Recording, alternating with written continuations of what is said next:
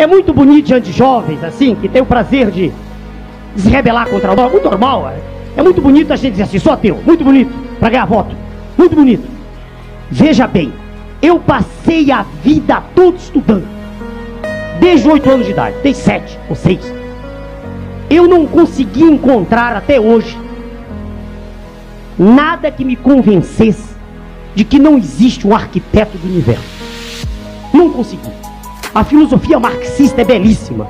Ela diz: matéria, o universo é matéria e movimento. Concordo plenamente. Só que a filosofia marxista não diz se é só matéria e movimento.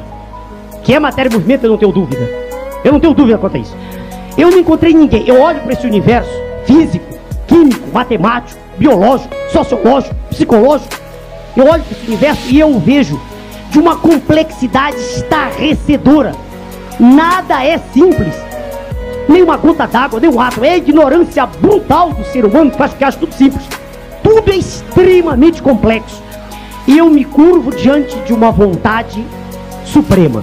Eu creio em Deus. Já bem claro. Bem claro para não haver dúvida. Não me pergunte o que é Deus. Eu não sou teólogo, eu não sei. Mas eu creio em Deus. Como força suprema e motora do universo. Força da qual uma parcela pequena existe em cada um de nós. Eu creio nisso.